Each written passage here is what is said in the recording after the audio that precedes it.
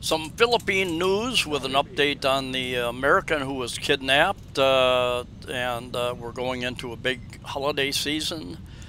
A lot of people are going to be traveling, so if you're planning, uh, you plan on some uh, patience and possibly long lines and waiting, waiting, waiting uh, for the you know your ferries can fill up.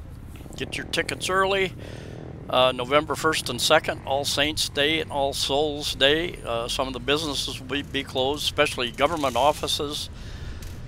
Uh, so keep that in mind if you're planning on going to the immigration offices. That's a na nationwide thing, and uh, some some stores may or may not be open. Just have to check on their sites to find out what's going on.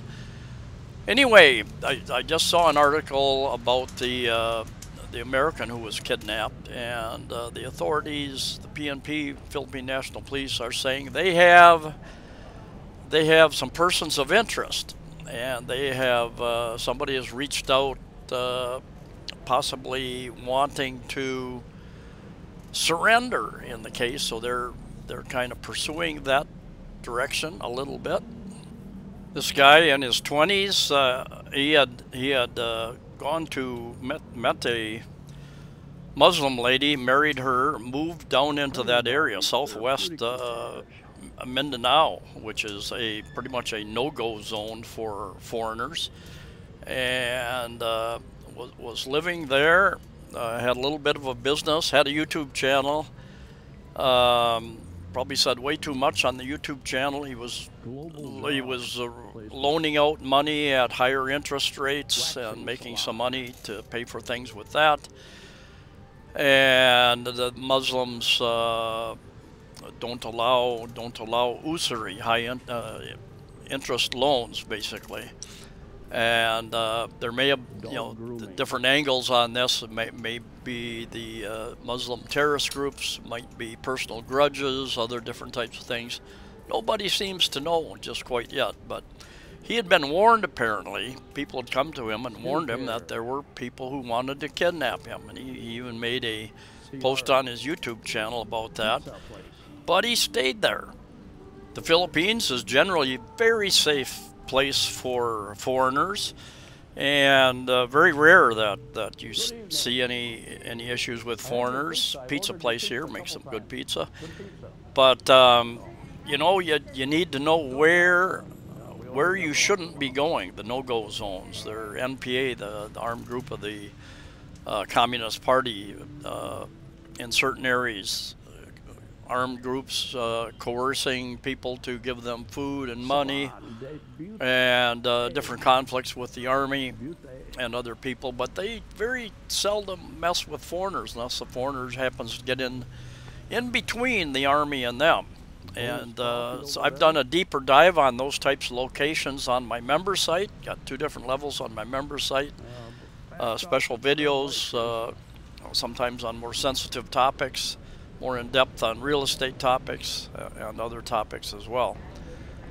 So check out the membership site. We are entering our oh, we are entering our high tourist season, October, November, December, January, February. When it's cold in uh, the northern hemisphere, a lot of people take their vacations, come to the Philippines, Thailand, other places and uh, so there's uh, you're going you're going to have more travelers traveling with you. And uh, just by slip there it was raining out. My sandals are a little bit slippery. I'm not wearing the best shoes.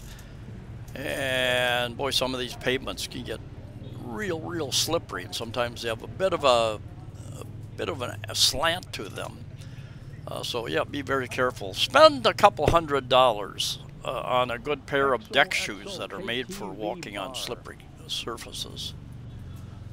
We got holidays uh, coming up. Undas, which is uh, All Saints Day, All Souls Day, which is November 1st and 2nd. I think they're, they're expected like 4.5 million Filipinos traveling, basically. So your your tickets for ferries, planes, um, we don't have trains here in Cebu, but up in up in Luzon, they've got a, a number of different trains. Anyway, plan ahead. Plan ahead because places can fill up. This guy was telling me that he uh, they they were getting a pretty good uh, number of tourists in there. I don't know that he really understood my question. But uh, anyway, going to cross the street here. This is Ramos Street. Came came down from uh, Mango Avenue, also called General Maxilom Avenue. And that flashing lights, that's XOXO. It's a uh, karaoke place. I think they've got rooms. You take a girl in and sing your heart out or whatever, something like that. Cebu Veterinary Clinic, uh, pretty big place, got quite a large staff, and uh, sorry about that. My my lens was getting a little wet, I think, so I was was wiping it off. Ramos Street, flashing this this light, neon lights here. Sandia, Sandia Massage. I'll show you the prices there. And boy, massages are very, very, very inexpensive here in the Philippines.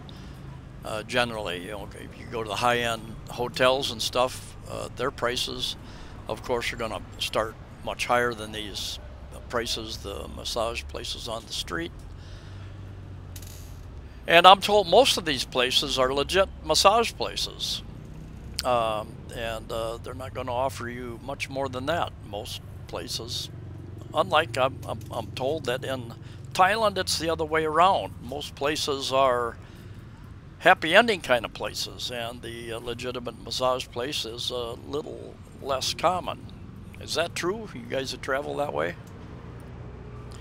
Weather-wise, uh, we just had a typhoon that, uh, a very large spread out uh, typhoon that, well, it never turned into a typhoon actually. It was a severe tropical storm.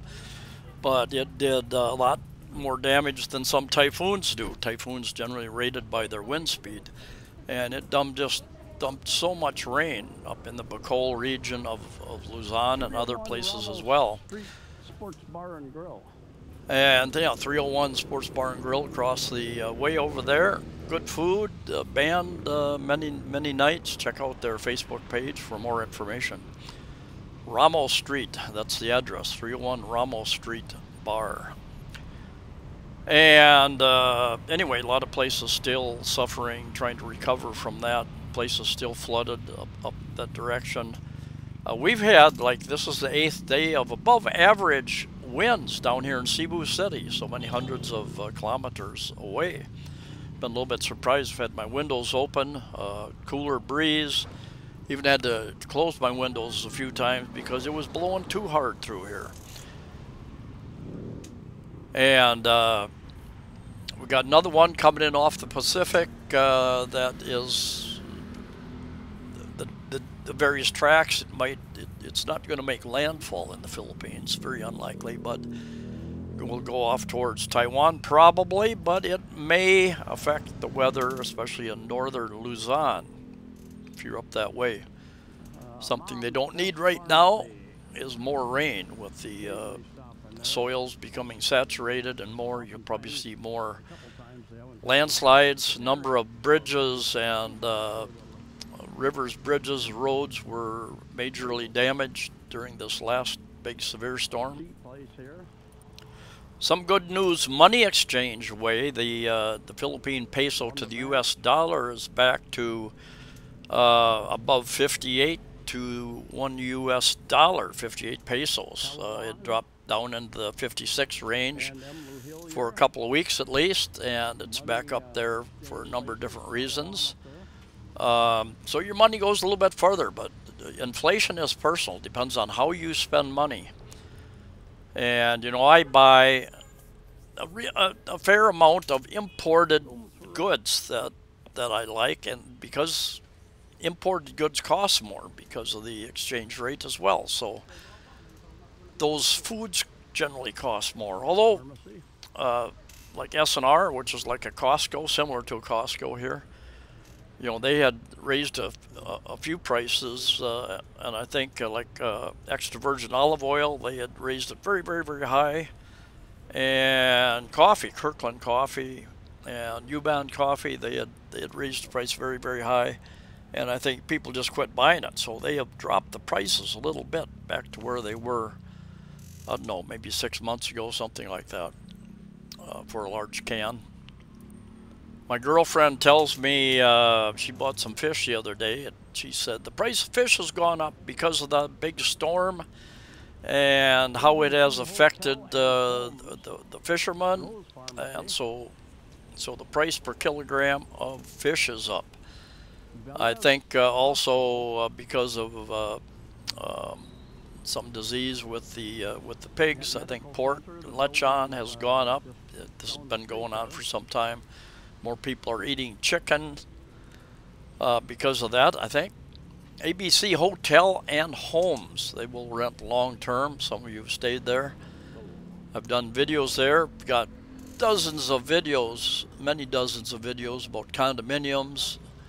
As I uh, went around uh, taking videos, how much they cost, what do you get, and I'll have a uh, video coming up about leases here in the very near future. Number of restaurants. There's no shortage of places to eat. Filipino type places to eat. Walking the various streets. Up on Mango Avenue, you get a, a few of the fast food places around Fuente Osmeña Circle, big traffic circle up that way. Uh, anyway, rainy night in Cebu City. Take care, safe travels. See you next time.